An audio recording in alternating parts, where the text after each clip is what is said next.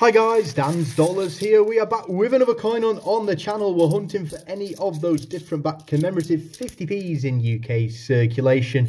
And again, we're trying to get some more coins into this book. Last week we were flying 30 commemoratives. Yes, we did just start the book off together, so the numbers were probably going to be high, finding all those common coins. But this week we haven't really seemed to get many in there. Come on, coin gods, please help us on our quest to try and find every different back commemorative 50p coin before Christmas. Yes, the task is probably impossible. The boys having some fun there in the background. Unfortunately, no quite such fun to bring us luck yet in this one.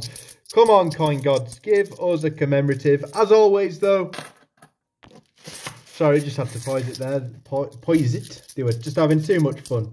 As always, if you found a coin, let us know in the comments. And together, come on, let's keep that dream alive. That there's still the odd rare commemorative or two out there in the wild. We will get on to some bigger coin hunts as the weeks get closer to Christmas. And I'm sure we're going to have to do bigger ones if we want to find all of the 73 coins. We do find the Peter Rabbit full face half whisker here though, the first of three Peter Rabbits for UK circulation. And again, one of those 13 different Beatrix Potter 50p coin finds. Again, the 2019-2020 Peter Rabbits, unfortunately not released into UK circulation. So if you do want those, you will have to purchase them online. And it looks like we have got an absolute banger at the end of the fourth bag, ladies and gentlemen, 2017. It is that of the Sir Isaac Newton.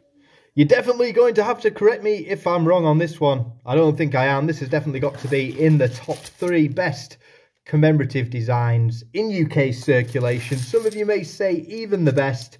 Again, 2017 year of issue. Four pounds. Some of those have been selling for perfect uncirculated at the moment. Wild.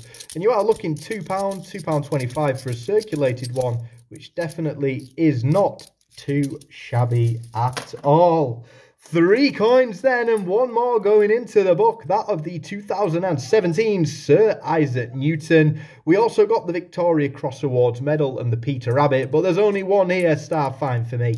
It's the Sir Isaac Newton. Comment your star find below. Comment any coin finds below. Enjoy your weekend. Stay safe. And as always, guys, thanks for watching.